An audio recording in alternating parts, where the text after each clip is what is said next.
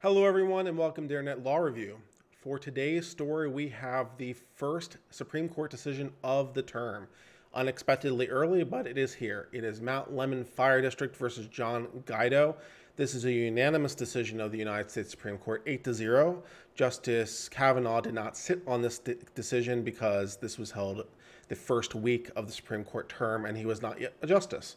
So this is an 8 to 0 decision, and we're going to read what it has to tell us. Faced with a budget shortfall, Mount Lemmon Fire District, a political subdivision in Arizona, laid off its two oldest full time firefighters, John Guido and Dennis Rankin. Guido and Rankin sued the fire district, alleging their termination violated the Age Discrimination in Employment Act of 1967.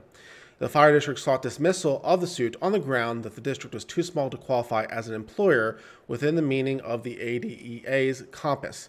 The Act controlling definition provides the term employer means a person engaged in industry affecting commerce who has 20 or more employees. The term also means 1. any agent of such a person, and 2. a state or political subdivision of a state. The question presented Does the ADEA's numerosity specification, 20 or more employees, applicable to a person engaged in industry and commerce, affect as well to state entities, including political subdivisions? We hold in accord with the United States Court of Appeals for Ninth Circuit that Section 230's two sentence delineation and expression also means, at the start of the second sentence, combines to establish a separate categories persons engaged in industry affecting 20 or more employees, and states or political subdivisions with no attendant numerosity limitation. 20 or more employees is confining language, but the confinement is tied to the first sentence and does not limit the ADA's governance of the employment practices of states and political subdivisions thereof. So let's return briefly to the statutory language now that we see what the Supreme Court's going to say and reread it as the Supreme Court does and see what they're talking about. So we see this section 630B, which I've highlighted in blue, has a provision that has a preamble, and the question is, does the preamble apply to the entire thing or only part of the thing? So let's read it again with that in mind. The term employer means a person engaged in industry affecting commerce who has 20 or more employees. The term also means any agent of such a person and a state or political subdivision. So the question is the numerosity provision, the 20 or more provision. Does that impact the state or political subdivision language, or does it only impact the general definition of the term employer, and the state or political subdivision language is an add on, not a clarification of the language? And here the United States Supreme Court rules that the initial clause sets up a general definition of the term employer, but also provides some specific additional examples, namely any agent of such a person and also any state or political subdivision. In other words, the general rule does require 20 or more employees, but the more specific rule, which allows for state or subdivision, does not carry the more general limitation. And that's how the Supreme Court rules this, and I think this is correct and shows the importance of how language is constructed when you're thinking like a lawyer. Let us read a little bit more to determine how the Supreme Court came to that conclusion.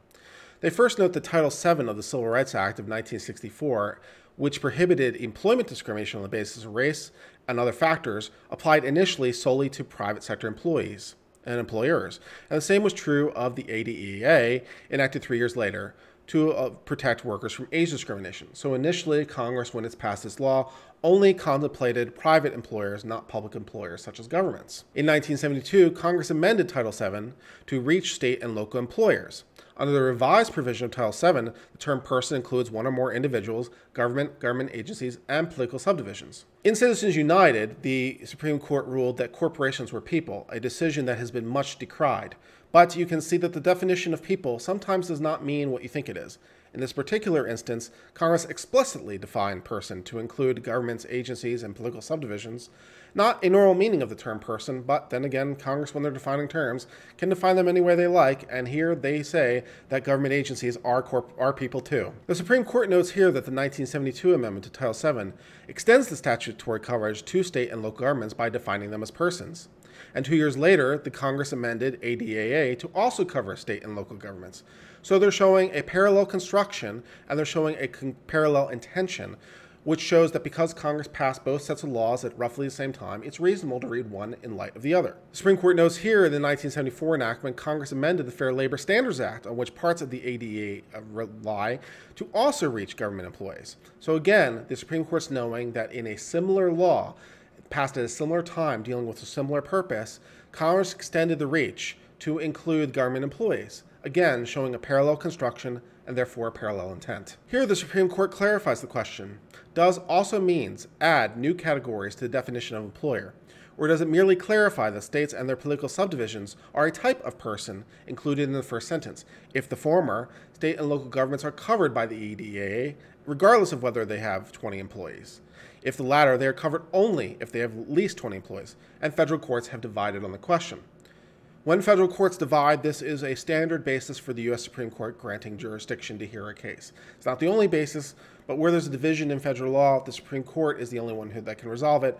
And it is a little awkward for different parts of the country to have different federal law. So that's one of the main roles of the Supreme Court is to unify federal law where there's a dis- disagreement of opinion. Here, the Supreme Court notes that grants certiorari to resolve the conflict and then goes on to say that for several reasons, we conclude that the words also means in Section 630 add new categories of employers to the ADEA's reach.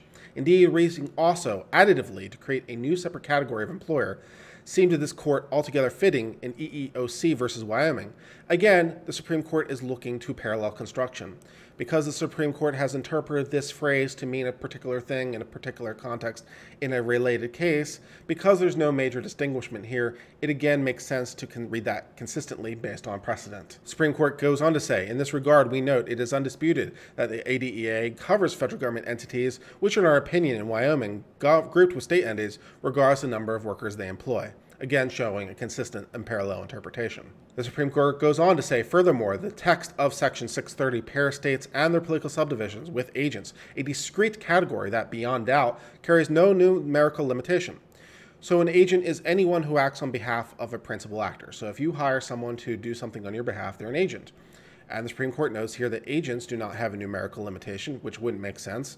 And since the, the government agencies are in the same breath, it makes no sense to apply to one versus the other, and I think that's correct. The Supreme Court says the fire district does not gainsay that the 20 employee restriction applies to Section 630's first sentence. A construction, however, would lift that restriction for the agent portion of the second sentence and then reimpose it to that portion of the sentence addressing states and their political subdivisions. We resist a reading so strange. I have to agree with the United States Supreme Court here. That is a pretty strange reading.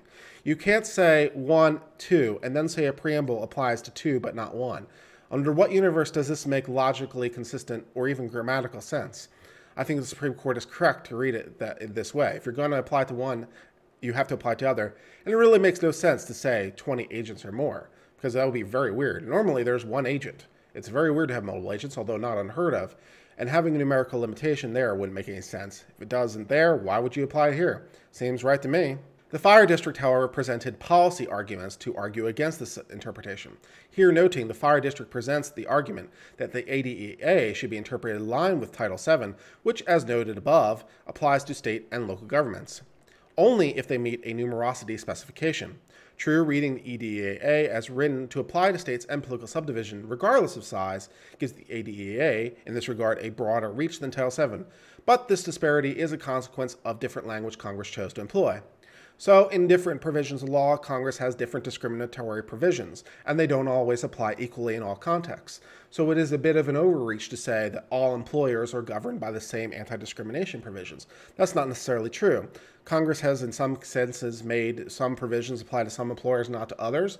Whether or not you think that's right or not is a little beside the point at the moment because that is the law as Congress wrote it, and the Supreme Court is supposed to give interpretation to that fact.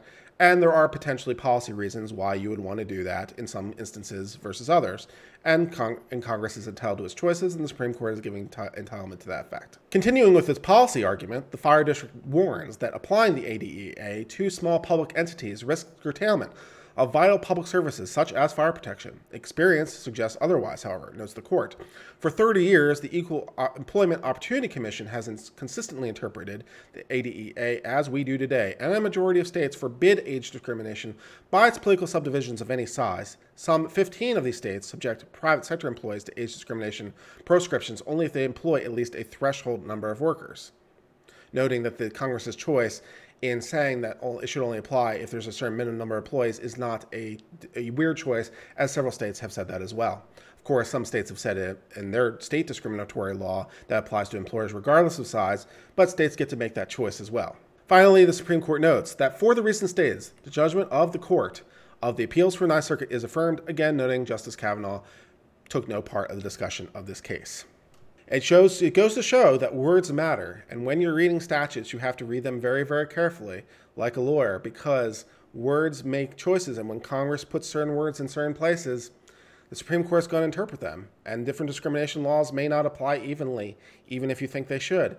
But here, the Supreme Court notes that even though typically a minimum number of employees is required, 20 in this case, to be subject to the anti discrimination provisions as it respects to age, that limitation does not apply to public employers. So, although if you're a private business with 19 employees and you fire someone because of their age, uh, you're good as far as the feds are concerned. If you're a private employer or, or with more than 20 or a public employer with any number of employees, uh, not so much for you. It should be noted, however, in understanding this case, that age discrimination laws apply only if you are firing or discriminating against someone specifically and only because of age. The issue is not here that these people were unable to do their work.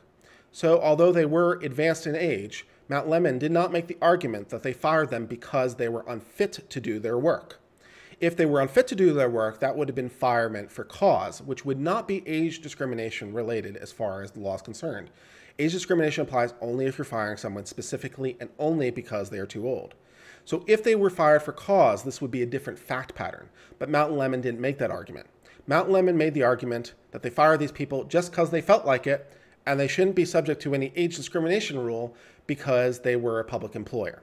But these people are capable of doing their work, at least as far as Mount Lemmon is concerned, and because they fired the two most senior employees, age discrimination is fairly readily apparent, and the United States Supreme Court says that's wrong.